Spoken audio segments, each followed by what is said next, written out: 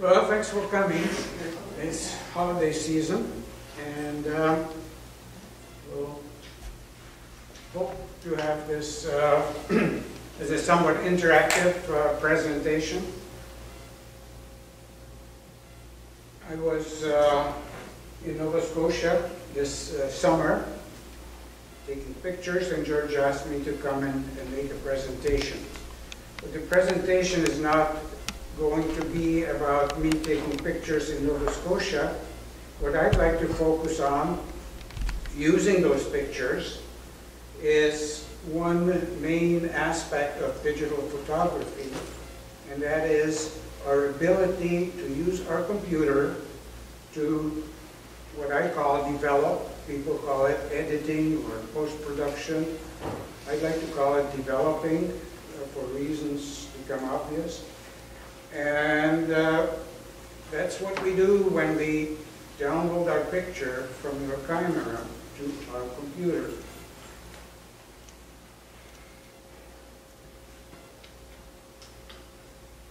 Ansel Adams, uh, probably most of you who are here are interested in photography, and most of most of those who are interested in photography know the name. Great photographer of the past century, the 20th century, but he was also a very great teacher. And a lot of his teaching in books, but a lot of his quotes can be found if you just Google Ansel Adams quotes, great quotes about photography. There are three of them that I take them as, as, as a guidance for myself.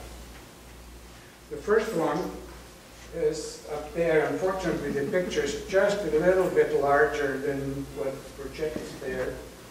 But uh, there is nothing worse than a sharp image of a fuzzy concept. And uh, so I start with a start, start with a sharp image. And with a question, do you see the concept in that picture? What, are, what is or what, what, what did I try to, to say with this picture when I chose it to be the first picture? Any Color? Color is number one.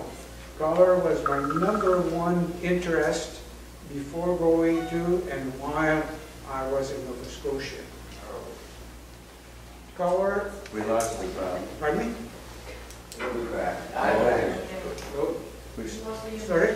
No, we lost the picture, it's back. Oh, It's back. It's going to do that, Okay. unfortunately, did it last week, we'll probably do it again. Um, The, the second one is, I see it as a happy place, a, a busy place.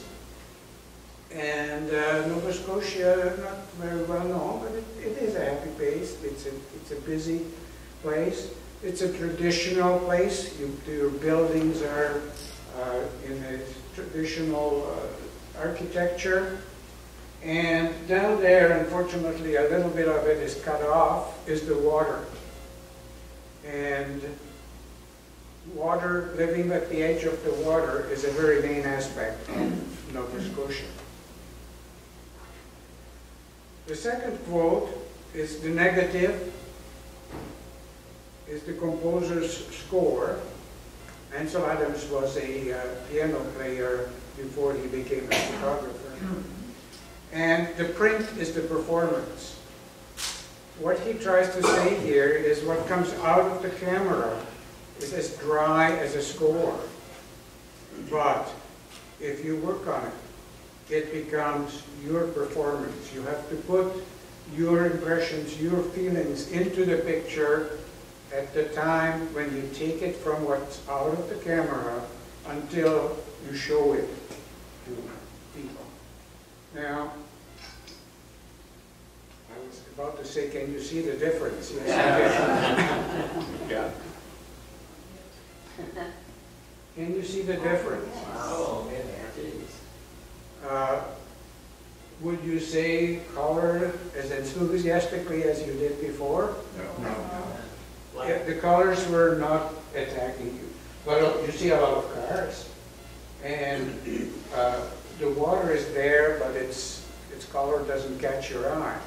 So those are just some of the, uh, some of the points. Then there, uh, the advertisements are far not as eye-catching as, as they were.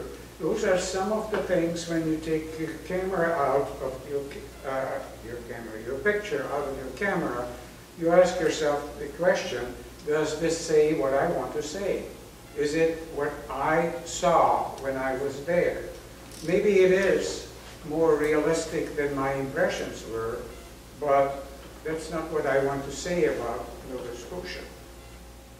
So you do put, you don't take a photography, and you hear it a lot to say, who made this picture? You make it. And the term to make a photograph was apparently brought in by Ansel Adams. And um, that's what it really sums up, what I said uh, up to this point. To me, digital photography, the greatest gifts, gift that digital photography, photography gives us as photographers is our ability to make the pictures. It's our ability to take the picture from the concept as you think about it before you take the picture, the moment when you take the exposure, to the performance, which is when you share it, whether you share it as a JPEG on, uh, on uh, Facebook, or you enlarge it and, and exhibit it as a, uh, as a, as an art center. So you want the picture to say something, and if it does not do it when you take it out of the camera, that's what you do when you develop the picture on your computer. So my goal is to, today, is really to, uh, to make that point with a few pictures and show what I did with those pictures from the time I took it out of the camera until I show it here. And uh, I strongly recommend that uh, if you like photography, you pay a lot of attention to this post-production. This is one of the pictures I took, and I'm using it here to make that point. Why the need? What's the core of the need for that post-production? The core of this need is that we look with our eyes, but we see with our mind. By the time you realize what is in front of you, your mind has done a lot to that image. And uh, uh, for example, well, at the same time, the camera does not. The camera does not have a mind, does not have that memory that we have when we see something, we match it up with what we, we already know and memorize. Uh, the camera just gives you the light. But you have impressions, and I look at this developing, that post-production, as my opportunity to put together in the, in the picture my impressions with camera's capturing of the light. So that's how I look at the picture when I sit down with my Mac and when I start uh, what you might call, something, I don't like to call it editing. The reason why I don't like to call it editing is editing is interfering with something. Developing is taking what's there, take it out, and I'm going to illustrate that as well. So, Blue Rocks is an area that looks like, looks like this. These are huge rocks uh, with uh, uh, a lot of color. And that picture was not taken at that location, exact location, but that's the environment in which it was taken. So why did I take that picture? Can you tell me from that? when I looked at it, I could not. Why did I take that picture? Well, I took this picture because out here, if this person takes a step forward, she falls hundreds of feet down the rocks. She is sitting at the edge. So here's my picture.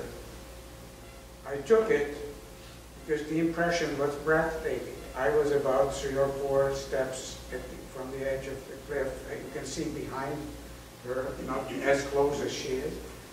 And it's not in the picture. Can you see, can you perceive the depth better in here? Yes. yes. That's what I had to do to the picture to give back that impression. The camera, why the camera did not pick, pick it up? Because it's the same color rocks, it's the same lighting, so this edge, you really did not stand out to the camera. It is something I perceived, every one of you would have perceived, because you would not have stepped a foot further to fall off the cliff. You realize that the girl doing that sketching had to be very careful sitting down where he sits and very careful when he- she gets up later. Probably she did, because it was not in the use. So that's the time in post-production where I have the opportunity to make that change, which at least attempts to give back my impressions. Uh, when you, when you were actually looking at this with your eye, not through the camera, was the drop, off- was the uh, depth? Ob- Obviously, you feel it. What? You feel it, even if you don't see it, you feel it. You, you, you know where you are, you, you feel it. And that, the camera does not. And that's one of the examples that I wanted to bring you up.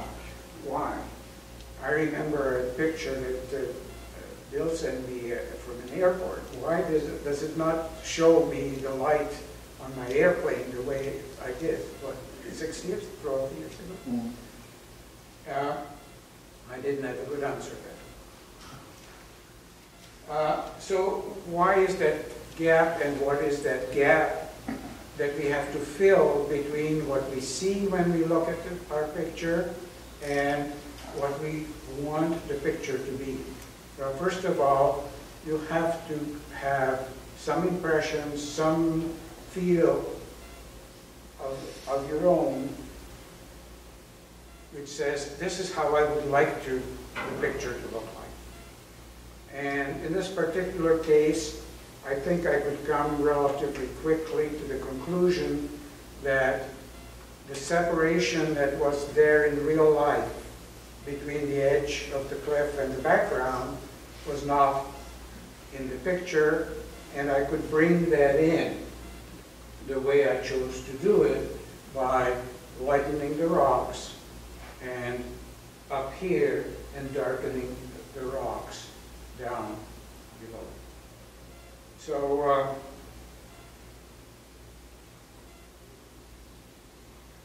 how did I know? How did I know that I was, I was at the edge of the cliff? Uh, I knew because I, my brain has many clues. Some of them are memories, some of them I, I just walked by that area that I showed in the other picture. Another is uh, that I move around. I can see some people when I'm here, not when I'm there, so I know that who is behind and who's forward. This kind of information sits in our mind, and these kind of clues, we pick them up. And the mind puts together by the time you see that scene. So you have to be somewhat conscious if you take pictures. Uh, what is that I see and my camera will not see? And a good photographer compensate for, compensates for that, not just after he or she took the picture, but before. But I'm only talking here about the fact that whatever I did at the time is now a picture, so I, I have to live with that, and that's what I'm going to work on. So I have those clues, and somehow I have to uh, transfer them into that picture. Now, there is another danger here, and that is I brought back those impressions. So when I look at that picture, my mind picks up the memories. Part of the clues looking at the picture now uh, come along because I remember it. People who will see that picture will not have seen those clues. So the camera doesn't transfer some of those clues. And some of it is irreplaceable. Well, look, let's look at them. The most typical of the gaps between what uh, we see and the camera does not are related to the perspective, which I was talking about, relating to the motion,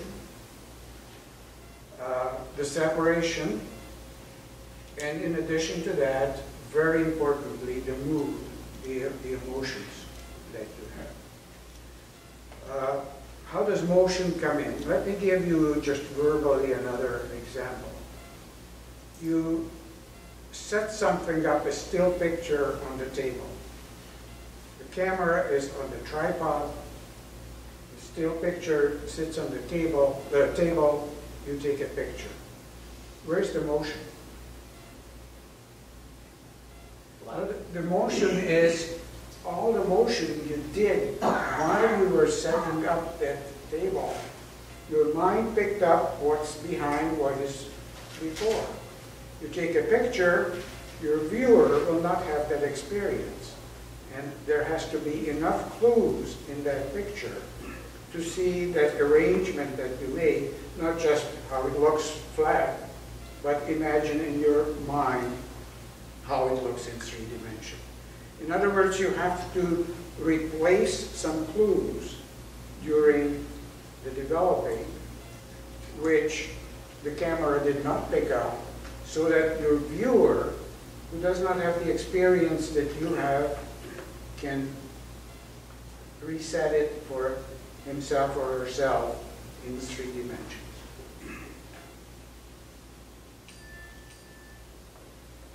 So perspective, motion, separation, mood were the ones I, I mentioned. But when you sit down and you work your picture, you don't have a button for motion. You don't have a button for perspective.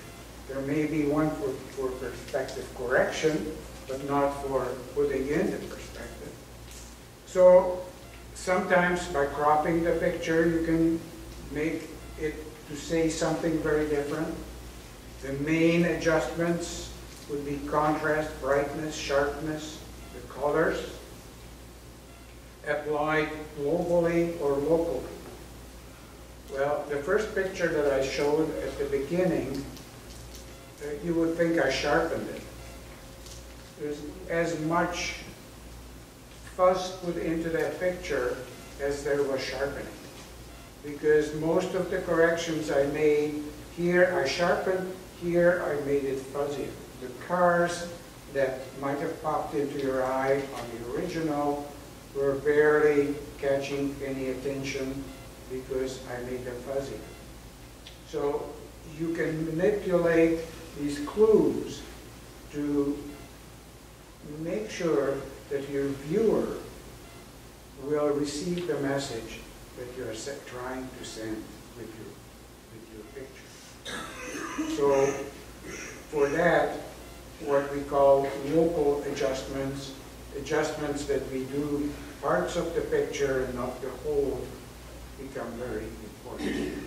Then there are techniques which are combinations of all those tools that uh, I use mostly Photoshop, some uh, of you probably use Photoshop Elements, but even the cameras have some of that ability built into them certainly our iPhones, you can do a lot of uh, this kind of manipulation. And you can buy presets, you can buy plugins, you can buy extensions, which help bringing these things back into the picture. Uh, Let's just say that here for a moment. So one of the things become very important is this arrow here. We talked about the problem here and the tools we have, they don't read the same thing. It's not nail and hammer. You have to make that translation between here's what I see, here's what I would like to see, how can I achieve that? Simply, I don't, I can't do anything here, it's all happening somewhere in the background. Uh, How can, how can it be achieved with those? And that's experimenting and learning, and it's, I, I have fun with it, I, I love doing it, and uh, what you do is, well, I tried this, I tried that, did it work, did it not work? And later on, you don't have to try that much. You begin to see, oh, that's the problem, here, I have a solution for it. Now, just to mention them, a lot can be achieved these days by multiple exposures. In other words, we take two or three or more pictures and we put, put them together in software. It's a very valid and by now widely accepted uh, tool, but it's not a subject that I have uh, prepared or have time to go into. Questions, I'd be happy to answer. Uh, By the way, ask me anytime, stop me anytime with questions. Todd, Yes, could you put back the first picture and the second so we could actually compare them? Certainly. Now that we know what we should be looking at? certainly.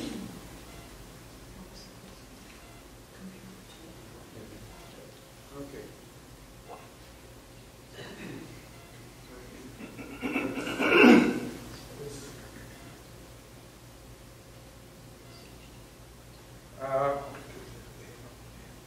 Definitely sharpened uh, these areas. I sharpened uh, this area where the people are sitting. I tried to not really, uh, should have darkened the car a little bit more, these disturbances. But um, uh, I lightened the uh, water to give a uh, more bluish color. Uh, Softened the trees, softened things that support the picture, are elements of the picture, but not important, like these, not really important, it's the color that's important there. I sharpened the uh, pole and the wire. Now, most of the time you remove them, but Nova Scotia is so typical, the wires are so part of what you see there, that I left them in in practically every one of my pictures. It's, it's part of the mood, part of the, part of the scene, part of the fact that we are maybe uh, two or three centuries behind the word, world that's rushing forward. Is that, Now, the, the one that wasn't changed, oh, the one, that was the original that you worked on? Okay, let me get to, it. Because it's amazing when you talk about it now, I think we could see more. Oh, yeah. Oh, my goodness. Yeah, that is- wow. But, but there's not a thing that I erased or added in that picture. Just the color, mostly color. It- It's not because I, I would not do it, I showed you where I did, but not in this picture, I I intentionally did, just left everything there. It's all contrast and color enhancement.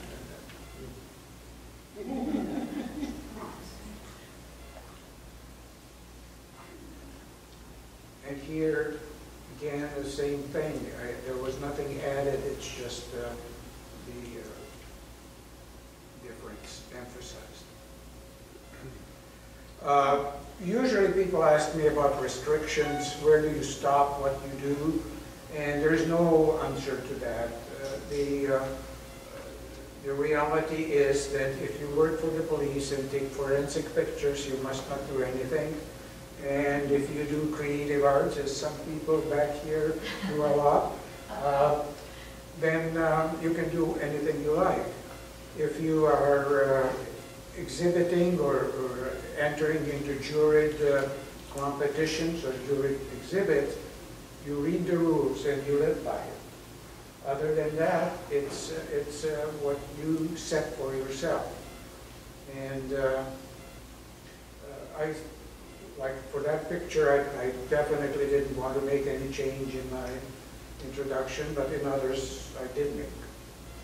Uh, So I went there with some intent, and some of the items on this list were in my intent, and uh, reality was a little different, but not much. Uh, Tide and fog were two things that I did not really expect to be, but become a major, major interest uh, to me. Lighthouses is, I thought I would be more interested in them than I turned out to be.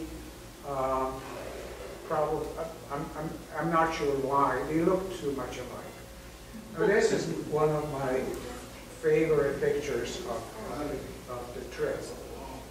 Uh, It's a Peggy's Cove uh, at sunset. Uh, A little bit is cut off at the top, it doesn't matter, at the bottom, it hurts the composition a little bit with the boat missing. But um, I like this uh, picture very much and did a lot of work to this picture. I also want to make a comment about JPEG versus RAW.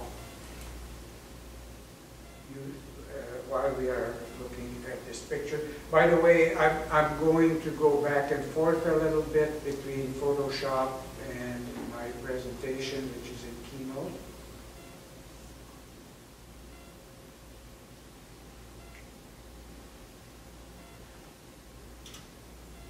Here's the picture. Oh, my goodness. That's what came out of the camera? That's what came out of the camera RAW. Oh, my goodness. Bob, you're an artist.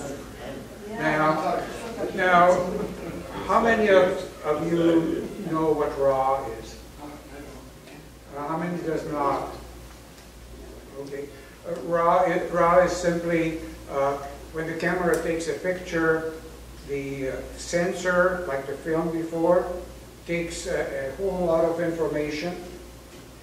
And if what you get out of your camera is a JPEG picture, then all that development that I'm talking about was already done by the uh, probably Japanese engineers who developed the uh, program, and it gives you one interpretation. You can still further develop it, you can modify it with your interpretation, but a lot of the information that was originally caught by the sensor of the camera, like Richard, you know the percentage, I don't, somewhere around ninety percent is dropped, somewhere around that. Ninety percent is what? Dropped, the information that your camera is dropped by the time you look at a JPEG picture. Now, what you Going get, from it- five is meg, five megs of data down to uh, 100 kilobytes, and you lose it, to make that JPEG, which is a smaller file, all that data has to go somewhere, and that somewhere is the trash. This is the raw picture. this is the raw picture, and the histogram, probably a fewer picture, people will know what a histogram is, uh, and we don't have time to go into it, but this is the histogram which tells me how many dark pixels were, are in that raw. There's millions of, uh, uh, you bought a uh, 15 megapixel camera, so you there are 15 million pixels. Most of them are here in the dark area, and there's a lot of them out here in the light area. None of them is falling outside, so that means, doesn't look good, but I captured a lot of information about that seed. Hi. Hi. Hi, it's Merle. Oh, hi, Merle. I, I, There's- that doesn't have, you have to have a real camera, not the iPhoto, not the iPhone camera to Um, do RAWs. iPhone at this time certainly does not give you raw. But I don't want to, to, to downplay JPEG, because JPEG produces a very, very good picture, and you still have a lot of room to, to manipulate it. If- How and if how you- close, if, if we take that picture on an iPhone, how close would we get using only the iPhone capabilities to the picture? You could we get, you could get a lot closer, because I, I, I'm not paying attention of getting a good picture out of the camera. I'm paying attention to get a good amount of data out of the camera. Because I sit down with every, every picture. So with this one, So, you wait can a you can see, I, I just, Bob, what you're saying, I think, is that actually the JPEG might have looked even better uh, typically, people who start using RAW complain that my JPEG looks better than what I can do in RAW. So you, you have a little time to, to learn to get as good as those Japanese engineers who never saw the picture could do to your picture. So Bob, I have a- like a point and shoot camera, but it has like giving you sunsets and stuff. Is that what you mean, that the people have made programs to enhance what we're looking at? Yeah, some, some of those enhancement programs are built in, and some of the later expensive cameras have uh, artificial intelligence uh, programs in it. So uh, probably what I'm saying here is 10, 20 years from now will be, or maybe even sooner, uh, of date. But as you can see, I can, I can pull up information in the, in this picture, uh, and uh, getting uh, the vibrance, a lot of things up, and as I do it, the exposure turns out to be not, not that bad. Uh, I don't think I can uh, get very close in, in a short time to it, but you can see there is a lot more. For some reason, the system has to go through that. Uh, In, in there, before you get, you get to this point. But one of the problems in this picture, which you meet very often, is, uh, let me go back.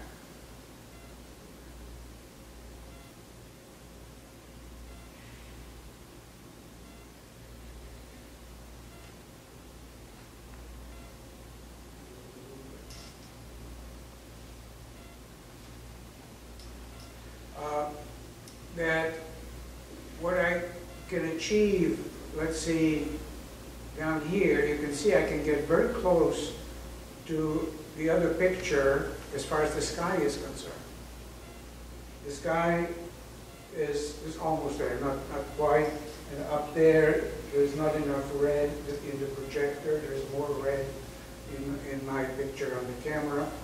Uh, So, but, but the lower part is not. That's when you go to Photoshop, and I just show you a, a very, a very simple manipulation there. I can make a, uh, a second copy of that picture, take that back, and now pay more attention to the foreground.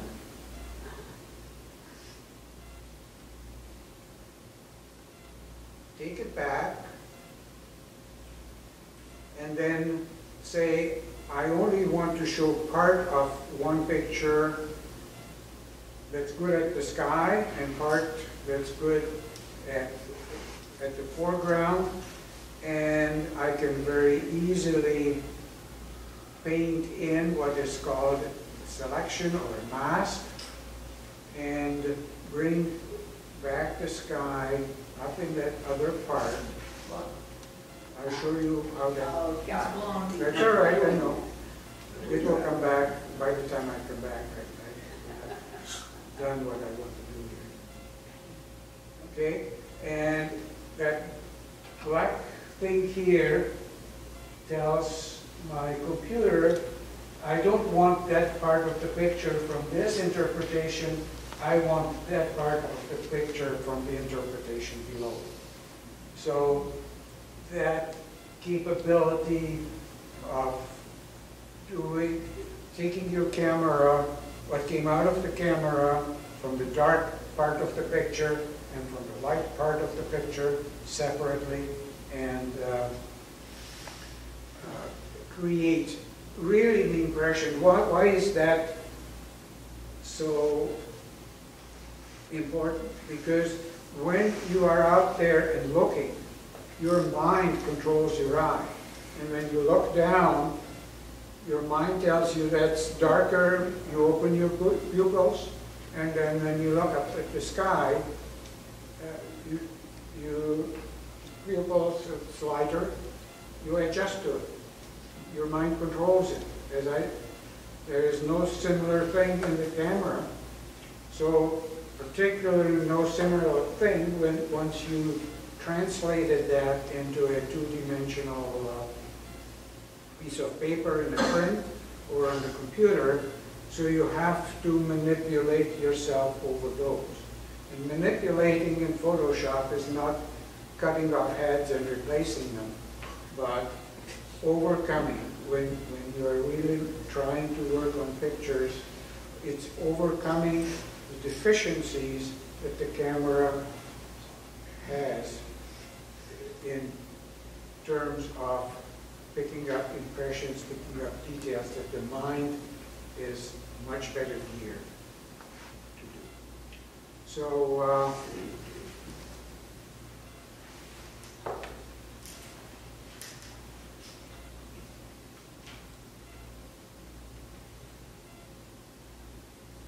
let's go here, let's go, let's go there. So that's, that was uh, this picture. Do you feel like that was what you really remember, or do you feel like you've done this to make it more artistic? I think it's, it's, it's a borderline. It, it, it is definitely an impression. In, in fact, with this particular one, I, um, it was the first night of the trip, and when I went to the, back to the hotel, I did the primary change. It didn't look quite like this, but very close to this. Fresh impressions. And uh, it's borderline in that I felt that to really give, let, let me go to the next. This picture was taken a little later in the same place. And it's a very different impression. It's a very, it, it- it's, it's darker, it's a different mood. And the other one, it was a happy day, it was a great day, it was a great sunset. So my impression went in and I did make. It. I also like to make the pictures look a little bit painterly. And that's the same thing I mentioned earlier, mixing, sharpening areas where I think there's important information to lead the eye to, and uh, softening areas where it's not. Like here, I felt that these lights that were popping up at the, uh, at the distance, these lights in the houses, I don't know how well it comes out on the uh, projection, but I thought they were very much part of the scene. And when I looked at this picture, they were not there. Similarly, with the previous one, I thought that this, this lightness that's in there was much Also, I spent a lot of time here. These are very colorful robes. And you see those very colorful robes in Nova Scotia all around. The way it came out, I don't remember, either they didn't come out or they were overwhelming. If I let them shine in their color, it overtakes the picture. It throws the composition out of if it's under, then it's, it's a gap. It, it, the, uh, these boats become a, a burden rather than an addition. So I, I manipulated the, uh, uh, the intensity of the color of these robes until I, I felt that it was right in the middle.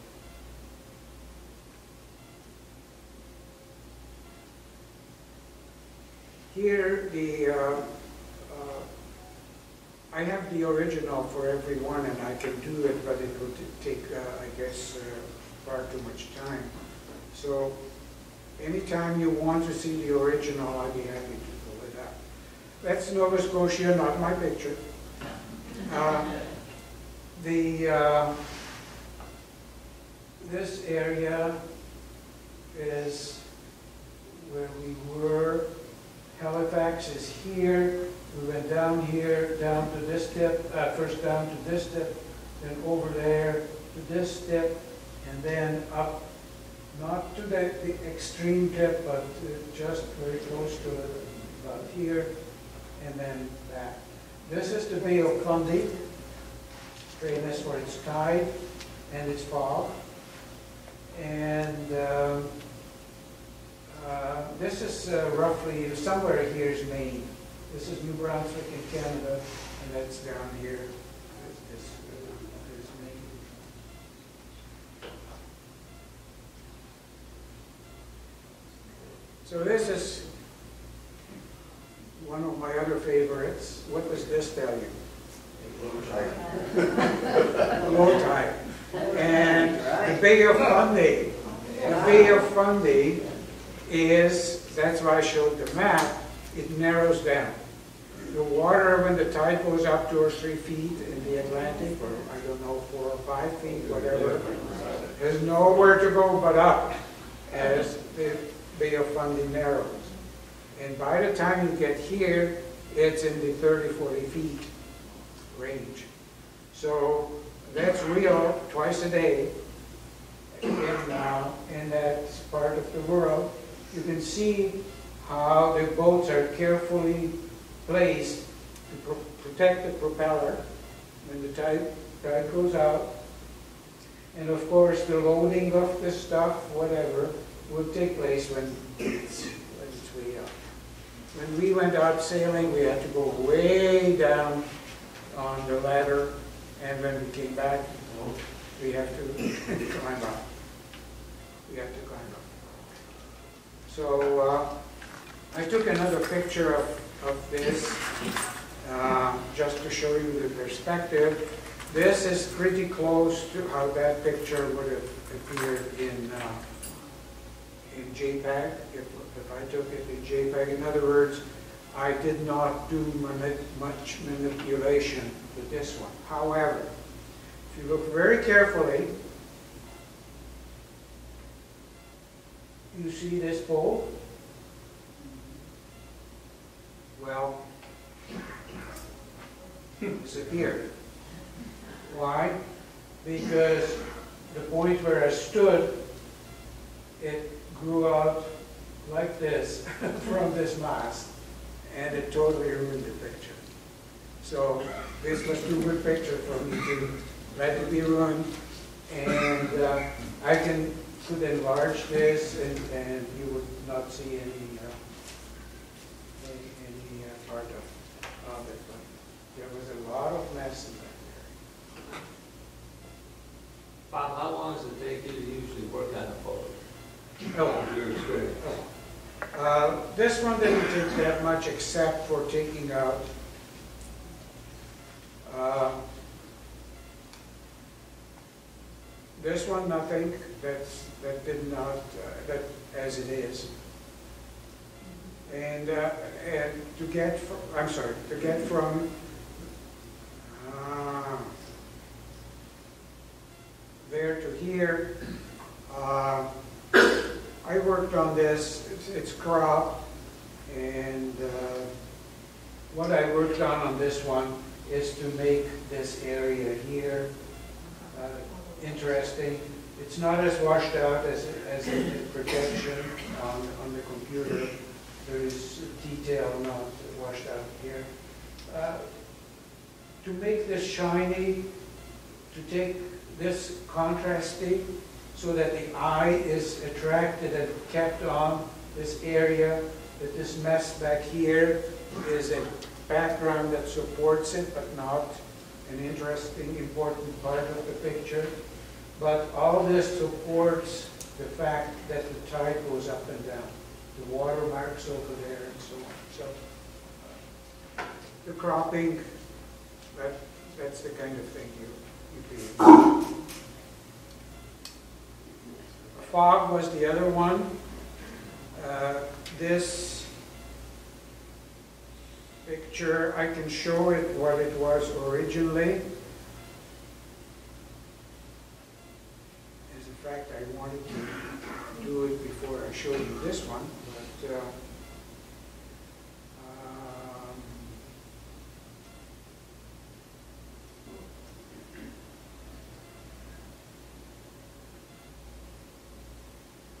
um,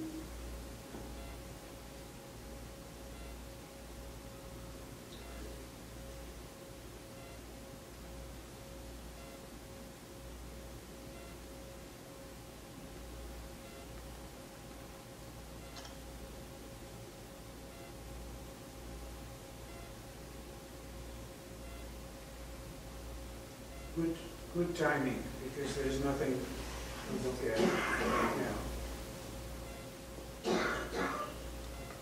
That was perfect timing.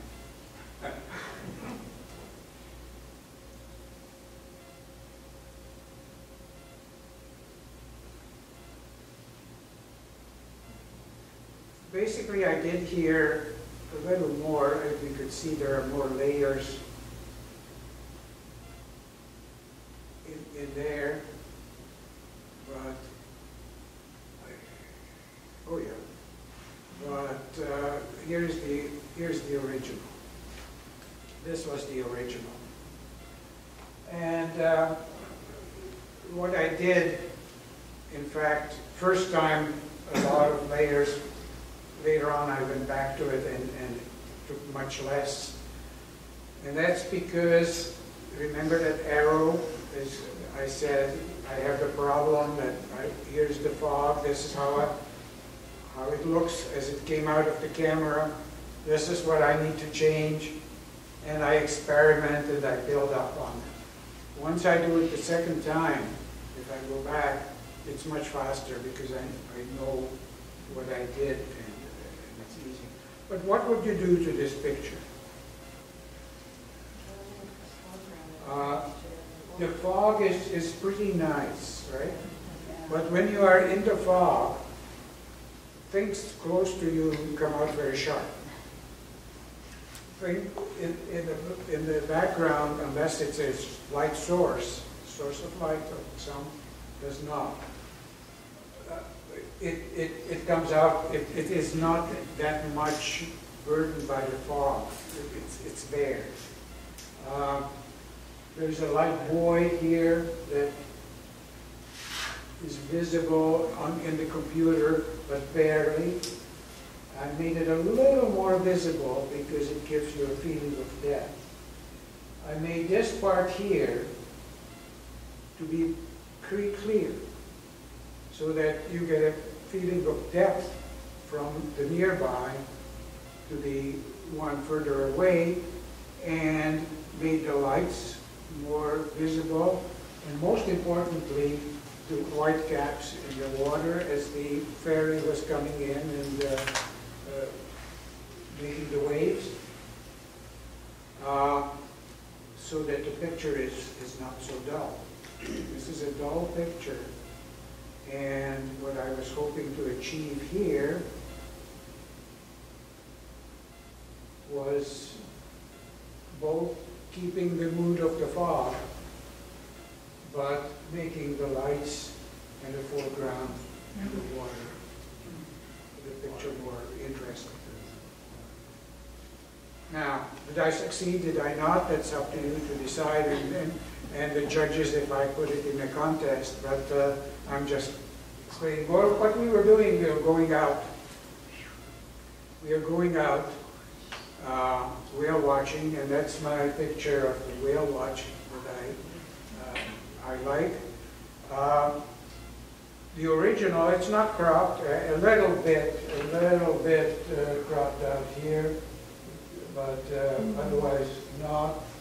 But the, um, the big difference between the original and this is that these dripping water is coming up. And uh, the masking that I, um, I showed you with a simple mask of putting the black thing there so the picture on the top, which was brighter, uh, shows some part and covered up in the lower part. Here it's much trickier because the only thing I could use, wanted to brighten up and make shiny were these water drops. And for that, I had to use the picture itself and make the picture black and white in terms of everything is black except where this is white, and that's my mask. It's called luminosity mask, where the luminosity of the picture is used to make this dis- distinction. And I used a special program that some of you know here it- to achieve that lifting out of the, uh, of the shine of the water. That's another fog picture that I like. Again, it came out of the camera almost exactly as it is here, very, very little adjustment, except for the lights. The, uh, the light over here was overbearing, and over there almost not visible. So I added a little more here, and I uh, took a little out there to balance out the, uh, the picture. This one, there, there was an area, I guess, uh, non-gated retirement area for boats. And I liked uh, this. Uh, Again, the picture as it came out, almost, almost the same. I changed it in two aspects. I cropped some part out in the back, put a little more life into the color because it was just too dull, and give back to the original feeling of dullness in this area, which it was, by brightening up the, uh, the white part, the upper part. I felt, yeah, Did you do this in two different steps then? Are you doing these in two different steps, Bob? uh, no, that's, that's the original picture, just the brightening and and lightening Okay. areas. And you're able to, you're able to. Yeah, thi- this is just almost, an this is area. almost, almost exactly. Uh, I, I don't exactly remember, but to create those luminosity masks that fit exactly is very easy with some software. And I, I learn it and do it more and more. And uh, uh, in many cases, you can just paint those black uh, with, the- with a brush in uh, Photoshop, and it actually looks nicer than uh, form fit for them. But that's your decision as, as you work and what you will try to achieve. I felt that you kind of begin to feel the captain behind there and, and start wondering, uh, is he alive, is he not, has he come to see this boat? And that's where he was looking out and would be looking forward to a trip out to the, the water. This one is a botanical garden called Historic Garden. Acadians were the uh, early French uh, Canadian uh, uh, people who settled in uh, Nova Scotia. That's an Acadian dwelling. And uh, I felt when I looked at the picture as it came out uh, of the camera, it's a little storybook-like. And I uh, kind of thought, well, the idea here is attract the, uh, the kids to, to go in the building. And, and that's, uh, that was the purpose of that building. So the building, to attract the eye to the building, I'm sorry. Wrong one, wrong one. To attract the eye to the building, I sharpened this area.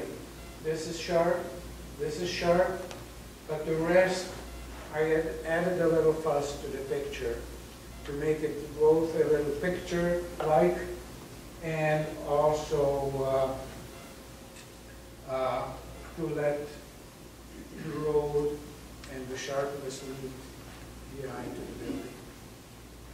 Of invite you inside. This one, a lot of people don't like the picture, kind of uh, show me the next. I like it very much. The reason for that is it's a Celtic sailors cemetery at the seashore. What I tried to do here is all too many things and none of them is complete. It's a good example where my mind sees it very different probably than most of you. I can see this full of the buried bodies because this is the cemetery. Some headstones are fallen, some are tilted, most of them are gone. So this just shows the few that survived, but the rest is, is there underground.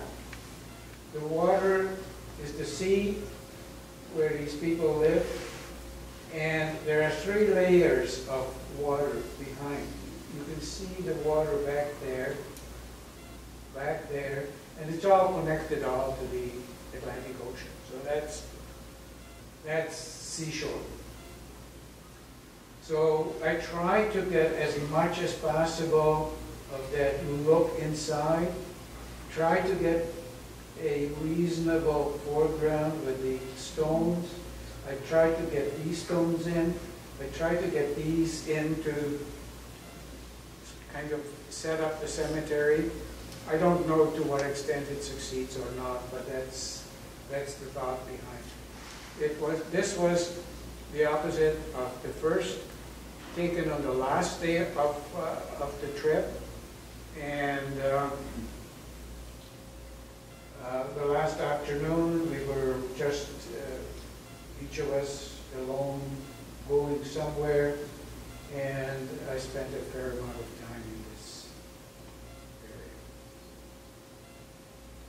This is another, just the colors, there's nothing else.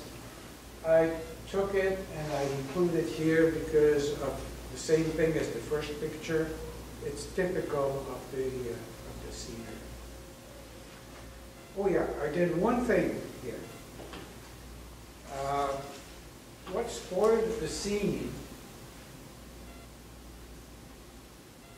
is all the yellow in the grass. Now, you don't see the yellow in the grass, but you don't see that I manipulated anything there either. There is the clone tool, and those of you who do, do very little work in uh, Photoshop or Photoshop Elements or almost anything, The clone tool is a favorite where you can take something from one part of the picture and drop it off somewhere else. Well, I did not do that. I used the clone tool, but in the mode where it only picked up the color. So the grass is exactly the way it was there. It's not cluttered with glass, copies of glass, grass that I pulled from somewhere else. It's the same structure, but the color is green. So if you use the cloning tool, uh, I don't know how many of you do uh, Photoshop, Photoshop Admin. Don't forget that you can just take the color clone and you don't have to take the, you don't have to pull out the grass and. Now, just one thing here.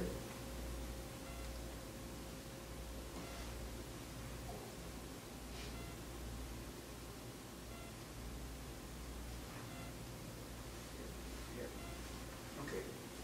Uh, The next one, I do- don't want to show you.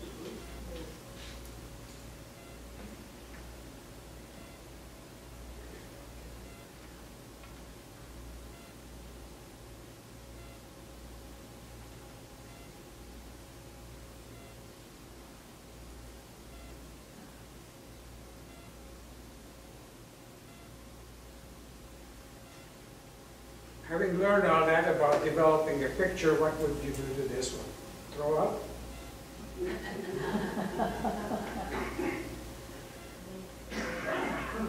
You're dangerous when you travel. Well, Is that your original raw image? that's the original raw image. Okay. I I have a sense of vertigo. I'm like, I'm going to fall in. Okay, that- That's, I, I was this far from, Oh, boy. and the camera was e- even closer. The, the tripod was sitting there. Uh, The tripod was hanging over. No, the, the tripod was solid rock, solid rock. But, uh, Were those colors really in there? That's, a- that's the, that's the original, And- and as you could see, the, uh, well, let, let, let me go back to.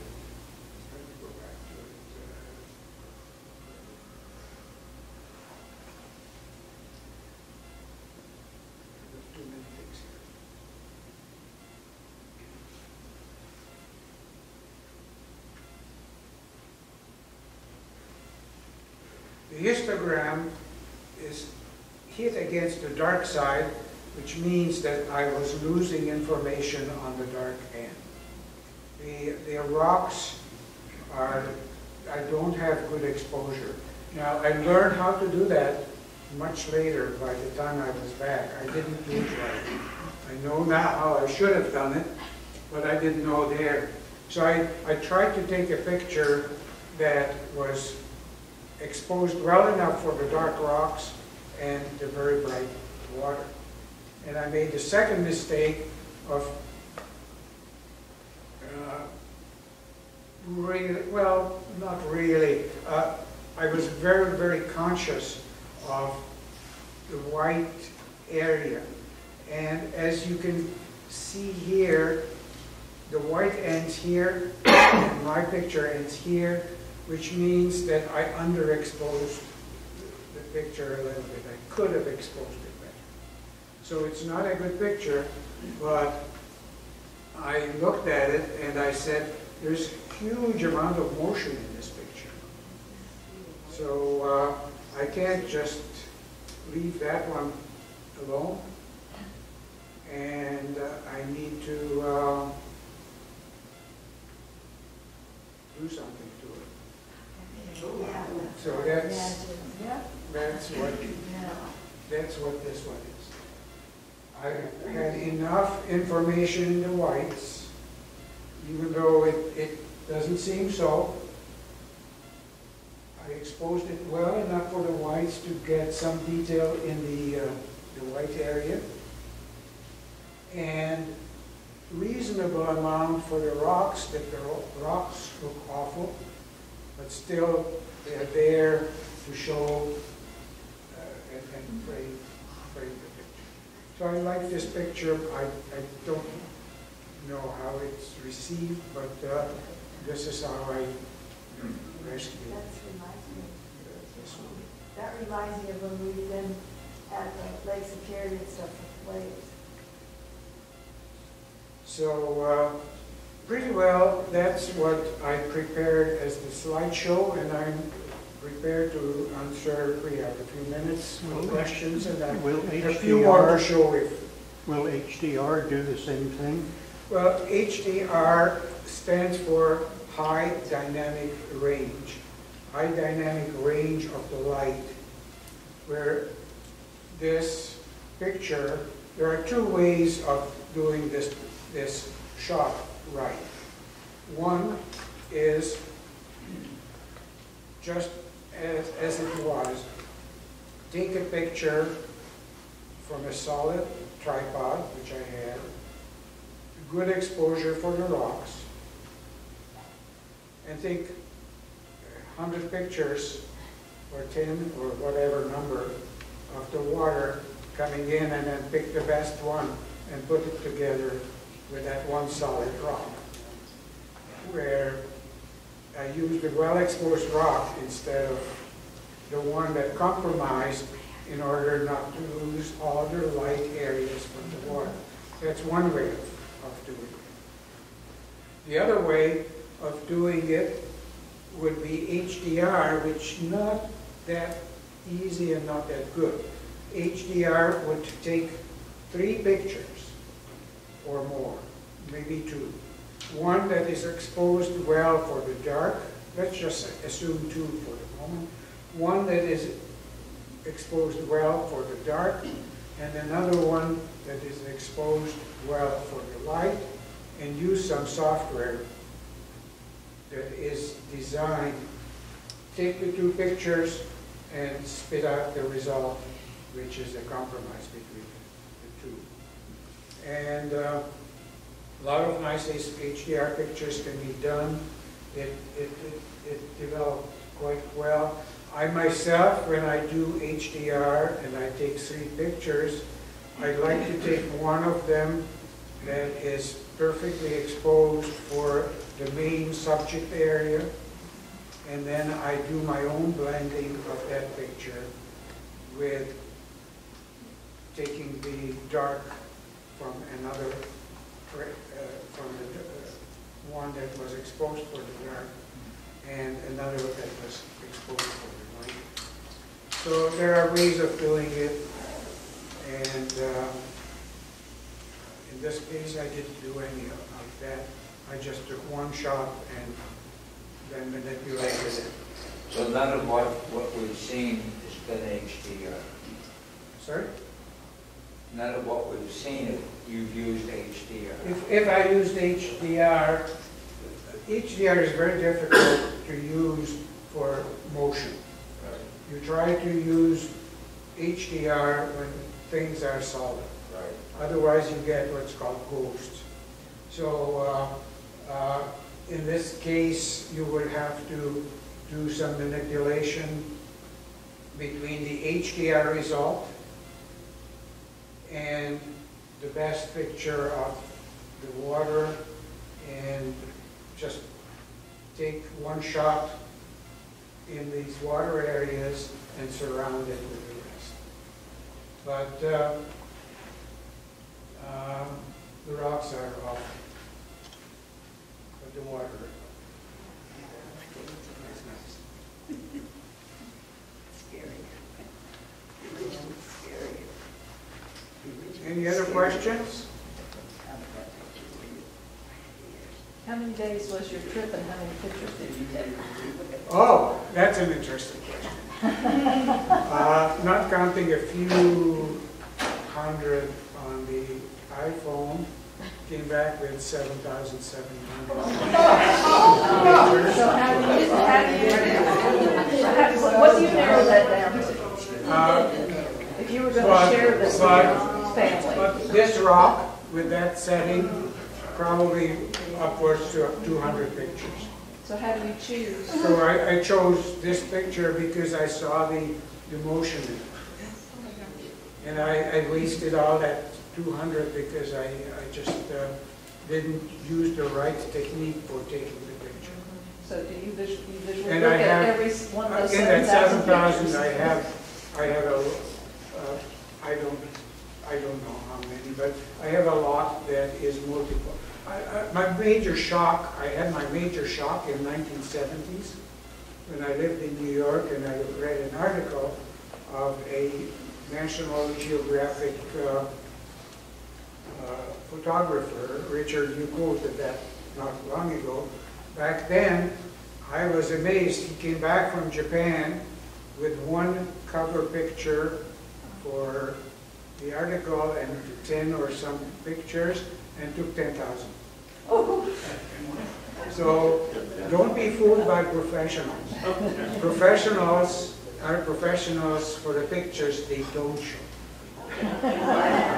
Rob, do you keep all, do you keep all seven thousand pictures? Uh, Eventually, I'd be forced to drop it. But I, I use uh, a ranking system, so I star those uh, with a star that I could use. I star those with two stars that I may want to use. I star three of those that I will, I want to, and four that I will right now. So I, when I go through, I can put that, that uh, number of pictures, I can do a day in, in half an hour out of that, 500 pictures, less than half hour, put the stars, and then I only pull pull up this five-star or four-star pictures and work with them. And if I find that uh, I want to go back to some others, I, yes. What kind of digital storage are you using? I'm using a, uh, a Drobo, um, uh, what is it called, RAID uh, system, Uh, which is plugged in, and I don't use it as a network connection, I- it's plugged in as if it was an external. And then are you backing that up as well? Uh, It's supposed to be its own backup, but I shudder to think what happens if, if uh, the electronics goes wrong. So I back it up on a four terabyte uh, external drive, and uh, I don't put it on my computer, I don't put any of it on the hard drive. Wow. So that's, I How many know. years Yeah? have you been doing this? I'm sorry? How many years have you been? Uh, I got my first camera when I was uh, a teenager from my father, but I got my first taste of photography when I joined the photo club here in Naples. In uh, 19 years ago, came here and moved to Naples. And I joined the photo club, I think about uh, 12, 13 years ago. And uh, it's, a- it's the photo clubs that, that really, really help you, which reminds me to put in my last uh, slide.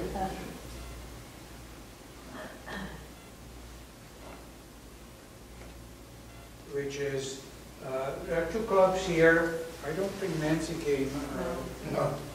uh, She runs the NCC uh, club. She's not, she's the chief operating officer, the chief executive officer. Uh, And Dipsig, I have many colleagues here from, from Dipsig, that's where I learned most. And uh, this club meets once a month. It's up to its hundred, and- how many meetings? Hundred and thirty some odd meetings. Uh, The Naples camera, and it meets year round. Sorry. We should have touched